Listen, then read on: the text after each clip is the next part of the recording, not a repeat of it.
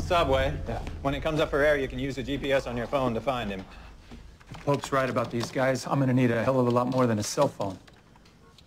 About that, I don't like firearms very much. Well, neither do I, but if someone has to have them, I'd rather it was me.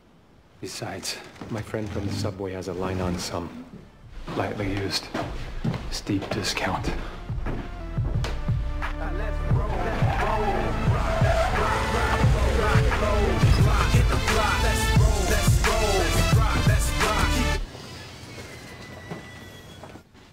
Hot, what about this one?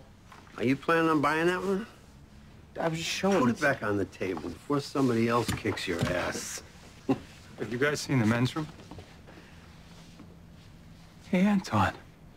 Good to see you again. You know this guy? Oh, that's some pretty serious equipment. Have you guys taken a safety course? Take you, for instance. You're holding that thing sideways. You can't aim it, and two, it'll eject a shell casing right into your face. See?